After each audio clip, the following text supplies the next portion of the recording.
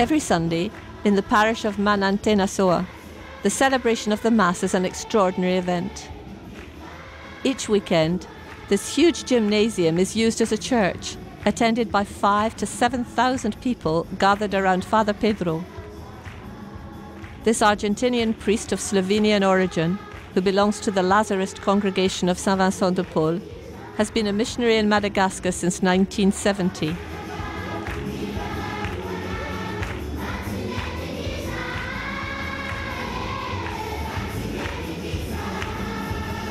Saved from the destitution of the street and the rubbish dump of Antananarivo, the capital of Madagascar, these people pray, sing, and dance spontaneously for three hours.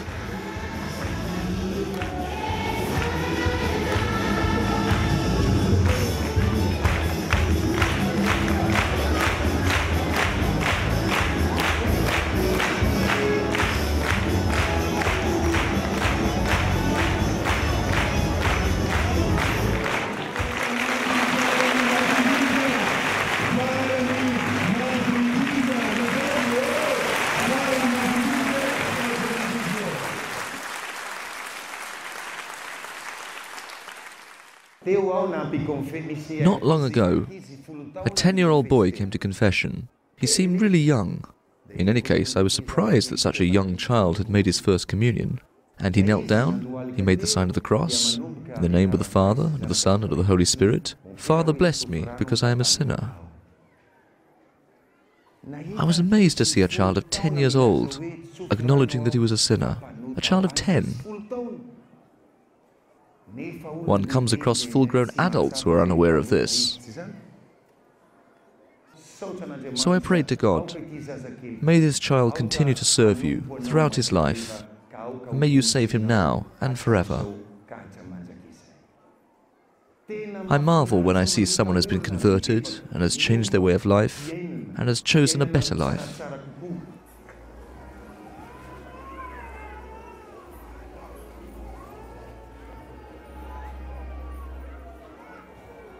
Let us pray.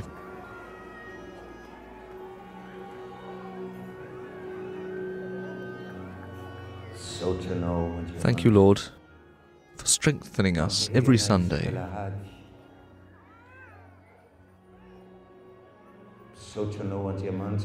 Thank you for your patience as you wait for us to return to your kingdom, to your light and your love.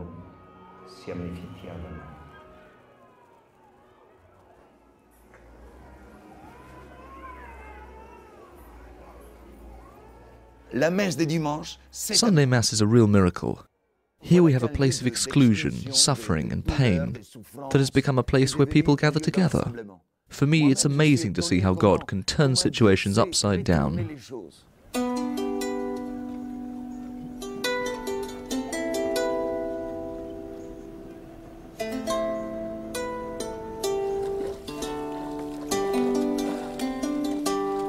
After 15 years, living in the middle of nowhere in one of the most deprived villages on the island, I arrived in Antananarivo for a new mission in my Lazarist community of St. Vincent de Paul.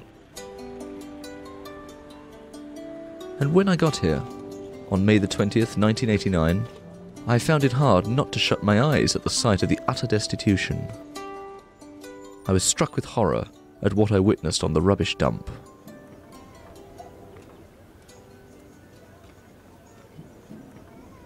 On that day, when I saw a thousand children struggling for their survival alongside the animals, the dogs and the pigs that were living there, I was dumbstruck. It was like an electric shock. I said to myself that here I could not just talk, I had to act.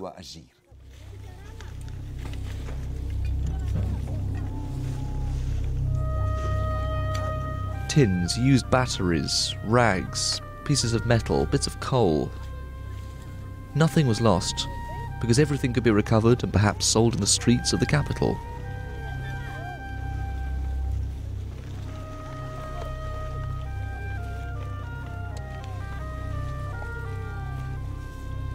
How could this be allowed to happen?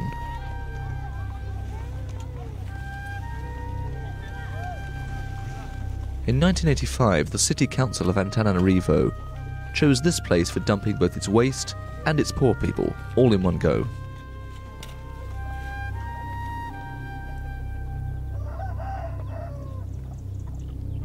That night, I made a commitment to God before I went to sleep. I knelt down by my bed and said, My God, help me to do something for these little children. I don't know what nor how, but I, did know something. I had to get these children out of this living hell, and that's what it was hell. And well, that night I did feel a strength. And we began with nothing. We were unknown, with no money. All we had was our enthusiasm and the belief that God won't allow children to continue living in such inhuman conditions.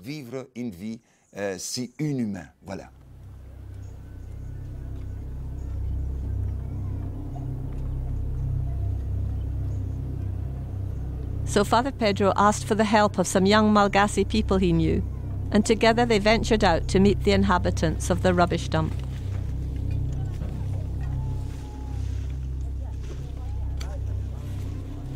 At that time, the place was in need of some humanity. I am, of course, a priest. I believe in Jesus. But I came to this place as a man, a human being, a brother seeking to meet another brother, so that he could begin to feel that another human being cared for him, that another human being was stretching out his hand to him, saying, Come on, we'll get you out of this. Of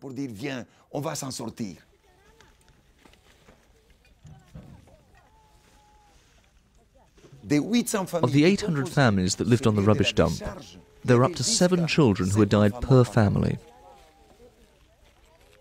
What can you say to a mother who has lost seven children? Nothing. You can take a hand and say, Mother, if you have another child, we'll help you to raise it so that it will live.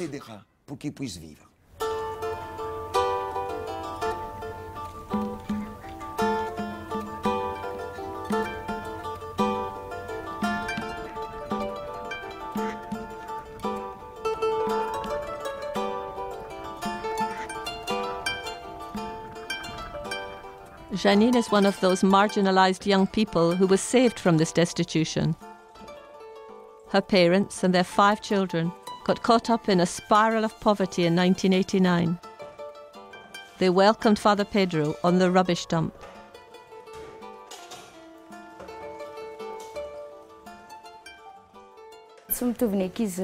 We were not at all like any of the other children. My parents lived in the street with my elder brother, and their life down there in the street was picking through rubbish and begging. As a result, there was no joy at all. Every day was a misery. When Father Pedro arrived, he was one of the first people who began to change things for my parents. He instinctively knew how to welcome people. Some people were afraid of him, but others dared to approach him straight away. Yet, because he knew how to speak gently with people living in hardship, including my parents, we learned to open up to him as well. That's how we became friends. My parents were among those who joined him in building the first houses and all the other things that were needed for the construction of Akamasoa.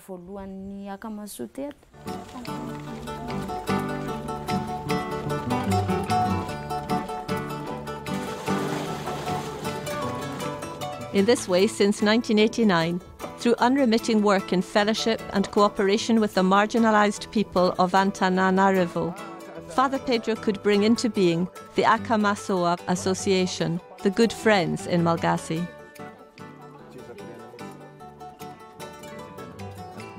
This association is currently composed of 18 villages built entirely by the members with their own hands.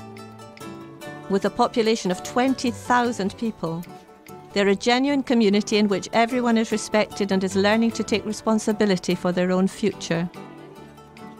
If God does miracles, they are happening here.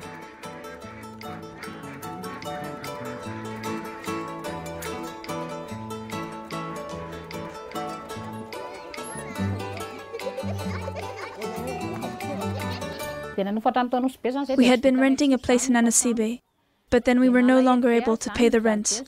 And it was very distressing for me because I had to sleep in the marketplace with my children, and they suffered a lot. Then someone came and asked me, Would you like me to speak to Father Pedro about you? I could introduce you if you like. But I was scared. I wondered if this person wanted to sell me off to foreigners. But this person said, Of course not. Don't think such thoughts. He's a priest. Since then, we have been living here. I thank God for that person who told me about this center. Now my children can eat, have clothing, and go to school. As I am not educated, I have one goal that at least one of my children will be successful while I'm still alive.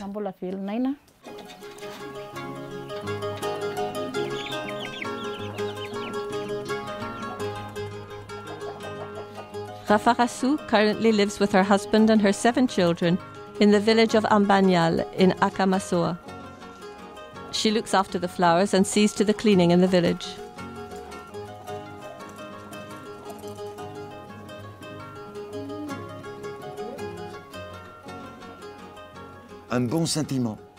A generous spirit awakens a generous spirit in others. Because we all have a light inside us The spark of life, of love, that never dies. Eh this divine spark, the spark of love, must be fanned into flame, because only love can bring people back to life. I gambled everything on this basic principle. When you love, others respond with love.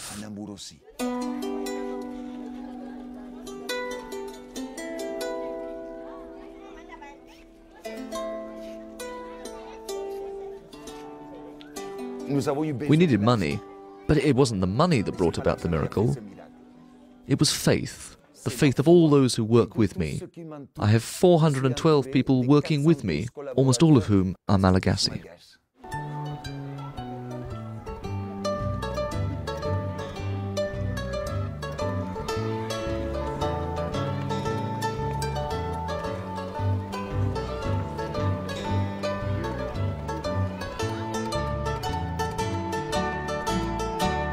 Clara is an orphan.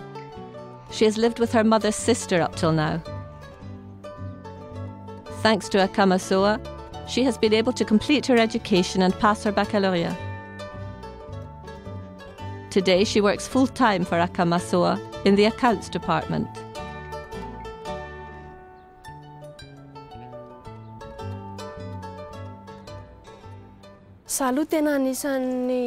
I'm very happy with the help I've received and as a result, to be able to help others. In my opinion, the most important quality you need to work here is decency and truthfulness, rather than competence. Because I can tell you in my case, I'm not particularly skilled. You need honesty too. If someone asks me to do something, I do it. By making an effort, even if you don't really have the know how, you get there in the end. It depends on your faith and the amount of effort you make.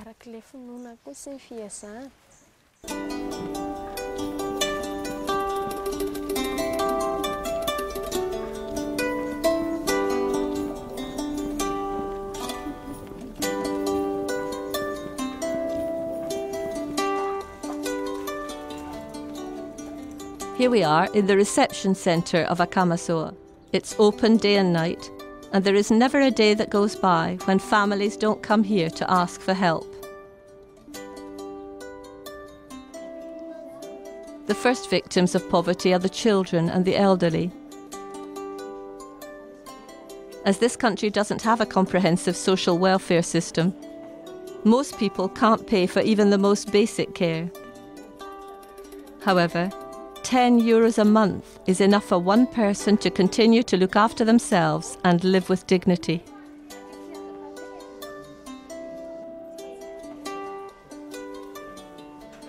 Nini arrived in Akamasoa in 1994 with her husband and three children. Today, she is in charge of the reception in the centre along with her team.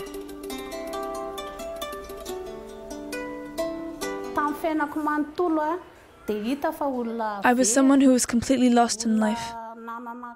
We slept in one market after another. And then someone said to us, Go to Akamasoa, because there is a very generous priest there. You really must go. It's true that I was married, but my family had rejected me. So we came here and they looked after me.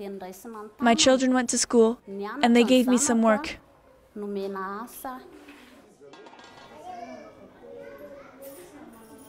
We had been helped, and now it's our turn to help others. And I share the joy that I've received with these friends who are coming for the first time, who really need it. At the moment, there are 214 people here. Some are mentally ill. There are some who are in the same situation that we were in, sleeping rough. And the state of Madagascar sends them here. This is what upsets us, because the state is not accepting its responsibilities.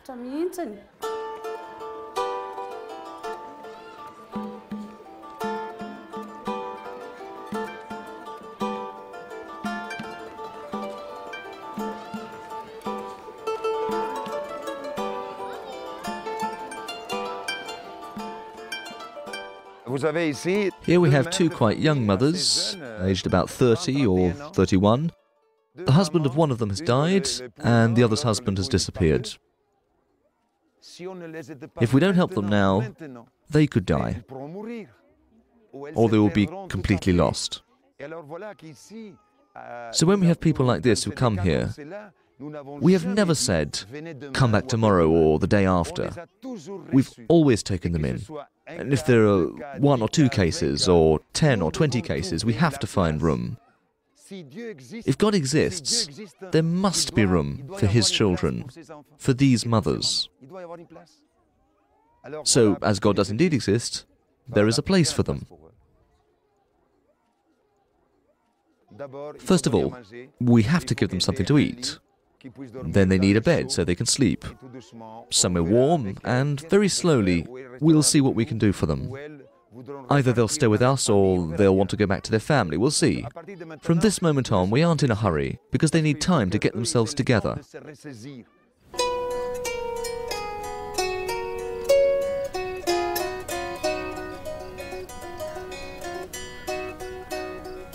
It takes a long time to realize that a more stable existence is possible.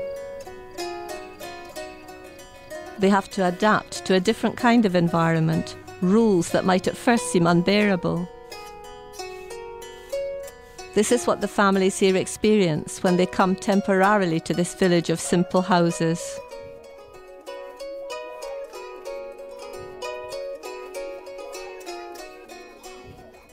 They learn here how to live in community. There's a whole way of life to adjust to before they go on to a more permanent type of lodging.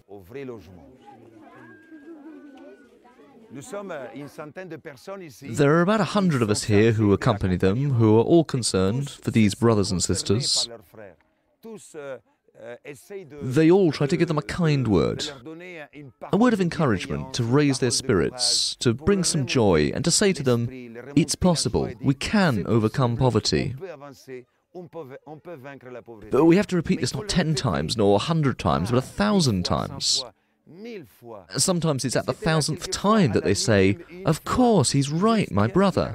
I'm going to keep up the struggle. And here, our secret is not to throw up our hands, but to go on. To go on at all costs, to go on. This is the strength of the gospel. Where can we find this strength if not in the gospel? And these people here will finally believe you because they say to themselves that despite all the difficulties, he's staying here with us. And my colleagues too. My colleagues who have given their lives and have not married in order to serve their brothers and sisters. This is important here. They've renounced having children themselves so they can look after other people's children. Because sometimes you have to give everything in order to stay with these children and these poor families. You cannot only give half of yourself.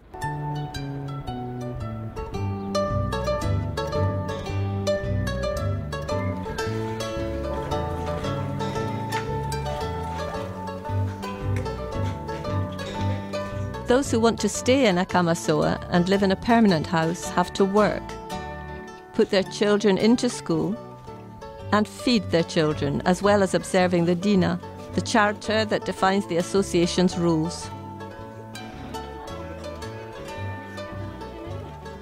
Today, there are 3,000 people living here who receive salaries for doing the jobs that they have created themselves.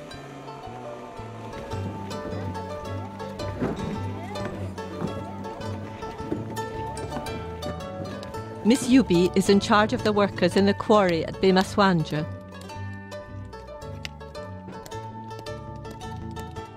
In 2005, at the age of only 14, she left her family to come and live here. With the help of Akamasoa, she passed her baccalaureate and studied office automation.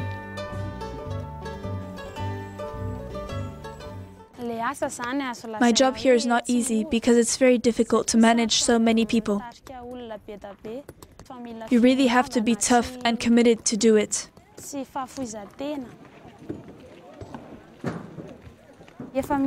They are organized into groups, and each group has its leader. The men who are miners break up the big stones. They are paid according to how much they produce.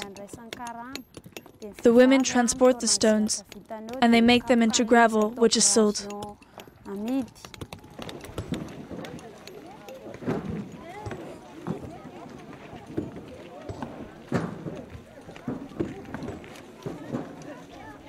Vous êtes ici, dans un endroit we find ourselves here in a place where life is a struggle, where life is a daily battle. We have removed thousands of cubic meters of granite from this mountain. And the women have carried these thousands of tons on their heads. This is why, for me, these women are true ladies.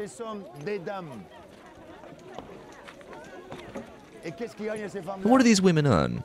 Barely one euro per day. We've never wanted to install machines here because what would these people do then? They would have no more work.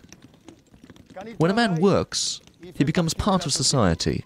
He's proud, he has honor, and he can stand erect to face everybody because he has recovered his dignity. And with the fruits of this work here, these paving stones and these quarry stones, we have paved all our villages. They've done this themselves. It's their work. Because part of their effort has gone into their own villages, and another part into providing a living for their families.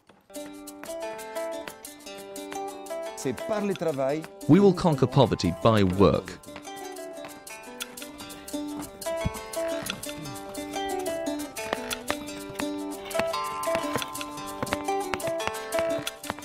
Every four days, in the heart of Akamasoa, a house appears. Thanks to these workers and the income that they bring us and to our many external donors, it's possible to cover the costs of most of the public services of Akamasoa, especially the medical insurance. 10,000 children go to school in the schools built by Akamasoa. The challenge is to feed them five days a week. The results are among the best in the region. 82% of the Akamasoa pupils succeed with their baccalaureate, and most go on to university to continue their studies.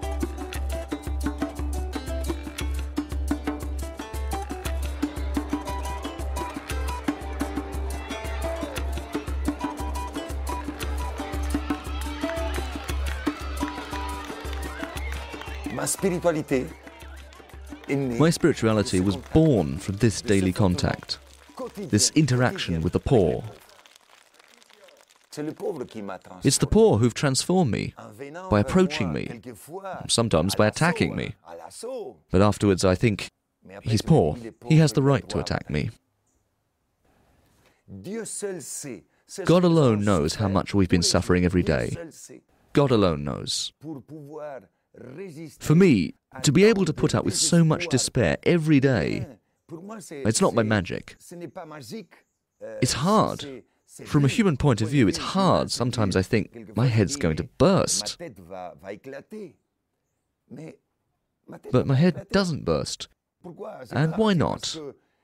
I don't know, it's because I'm a bit like a bush, drenched through with the example of a man called Jesus.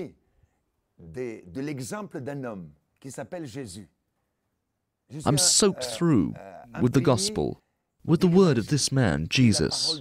When I decided to become a priest, I said to myself, I'm going to imitate someone, Jesus.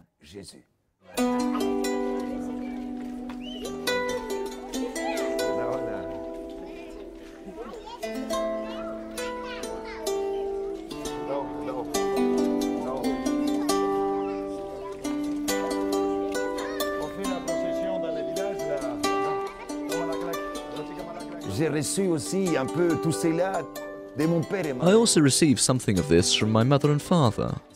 They were believers. They left everything behind in Slovenia at the time of the communist persecution. They lost everything. They left everything behind, but they kept their faith. And they arrived in Argentina with empty hands, without knowing anyone.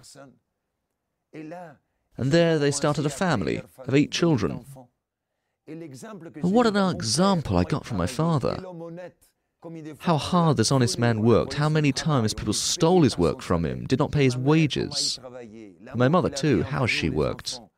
The love that she showed towards us children, and the love for the poor that knocked on our door. My mother always said to me, Son, when someone poor knocks on the door, we should always share something with them. And it was prayer that united us at home. And afterwards it was me who began to search. Whose chooses for me? What's the face of God like? And I found the face of God in the poorest people too. And today, for me, wherever there's poverty, God is there. I found that if today we want to approach God by the shortest way, we should go towards the poor. Then we will find God straight away. Saint Vincent de Paul said, If you're praying and someone poor knocks on the door, leave God for God. Because God loves us when we serve the poor. And we should go towards the poorest, because they will not come to us because they daren't, or because they cannot come. Everyone deserves a visit from God. Because it's God Himself who says that. And it's Jesus Himself who said, I came to seek those who were lost.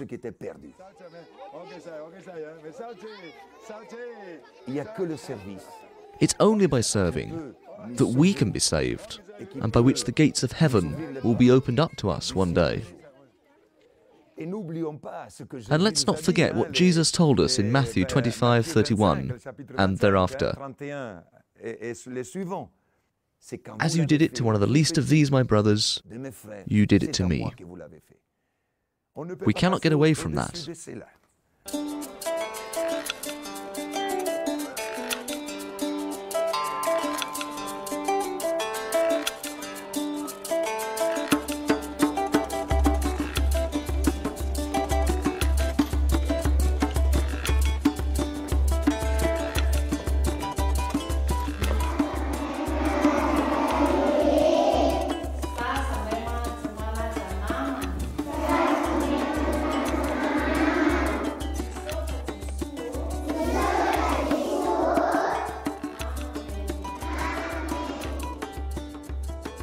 Father Henri Rakoto Arizoa lives in Madagascar today in Antsirabe.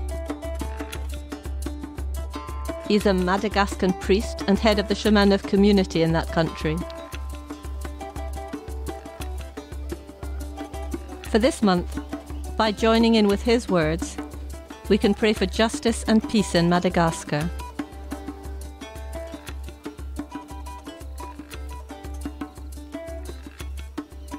For me, Akamasoa is a word of hope. It's possible to push back poverty, and even to overcome poverty. It is possible.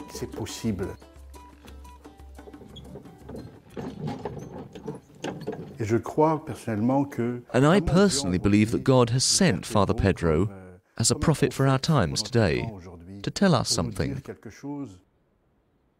Firstly, how God is confronting us so we can open our eyes to see the reality of poverty, the reality of this destitution. It's a question that's being put to us. Can you see the poor who are around you? Can you see the destitution surrounding you? Secondly, it's an invitation not to get accustomed to seeing poverty,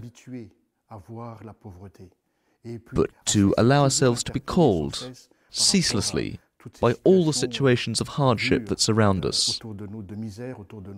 Thirdly, we should not simply just look or simply allow ourselves to be touched, but we must also act. So it's an invitation to do something, wherever we are, at our own level, to do something.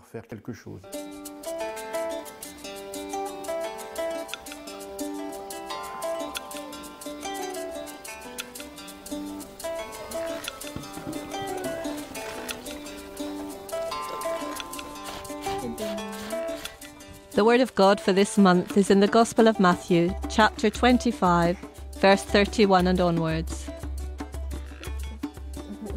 Jesus said, Truly I say to you, as you did it to one of the least of these my brothers, you did it to me.